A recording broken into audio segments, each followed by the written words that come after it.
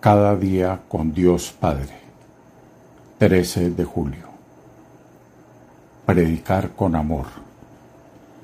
El que predica con amor rebate lo suficiente a los herejes, aunque no pronuncie un solo argumento contra ellos. San Francisco de Sales. Una maravillosa frase de San Francisco que se presta para meditarla en esta reflexión. Es verdad que cuando proclamamos con un corazón libre el amor del Padre por nosotros los hombres, las tinieblas no pueden resistir. El demonio es incapaz de amar. Por eso el anuncio del verdadero amor y con amor resulta insoportable para los poderes de las tinieblas que se ven obligados a ceder. También a los herejes que han sucumbido a las falsas doctrinas se les ofrece resistencia de esta manera. El Padre también advierte de las tentaciones y los peligros que acechan al hombre.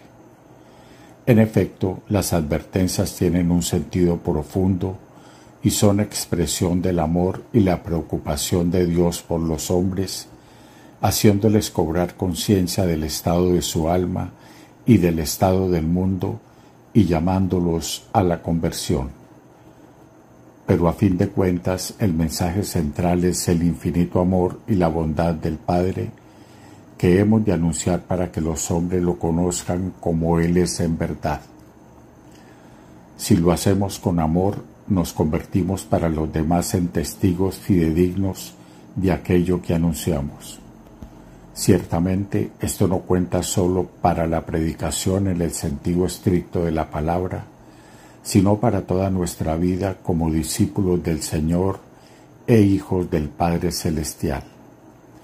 No hay nada más convincente, nada que llegue más fácilmente al corazón que el amor. Y por supuesto esto cuenta aún más cuando se trata de anunciar el Evangelio, que es a fin de cuentas el mensaje de que tanto amó Dios al mundo que le entregó a su Hijo unigénito el amor triunfará.